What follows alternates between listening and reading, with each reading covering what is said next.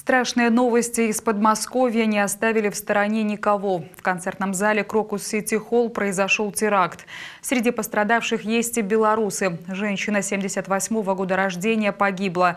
Мужчина 81 -го года рождения в крайне тяжелом состоянии в больнице. Еще одного пока не нашли. Оба работали на первой линии охраны концертного зала.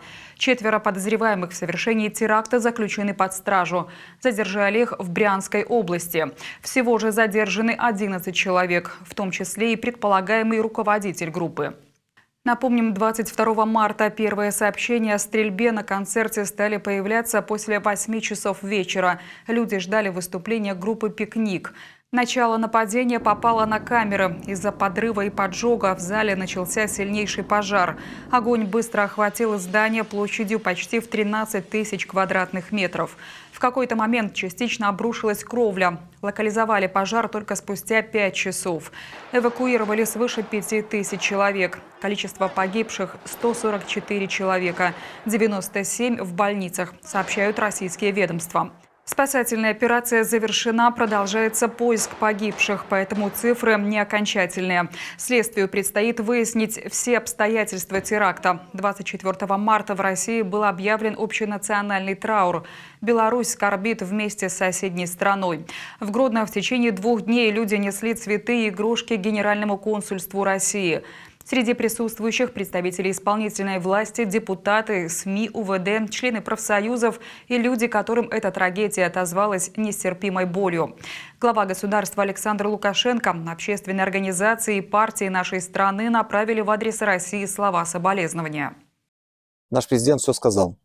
Он сказал о том, что преступники будут найдены и наказаны.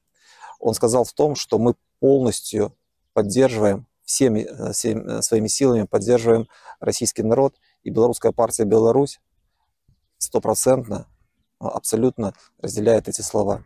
Еще раз приношу э, слова соболезнования народу России. Возложить цветы пришли вместе с дочерью.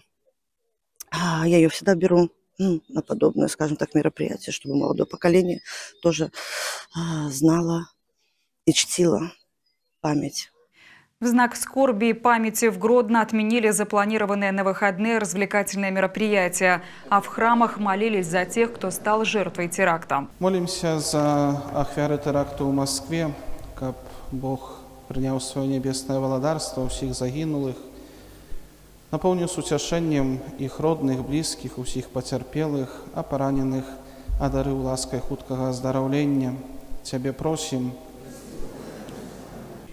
как говорит святейший патриарх Кирилл, наше дело – первостепенная молитва об упокоении всех безвинно убиенных, умерших в этом террористическом акте, а также молитва о всех тех, кто был ранен, изувечен, чтобы Господь исцелил этих людей.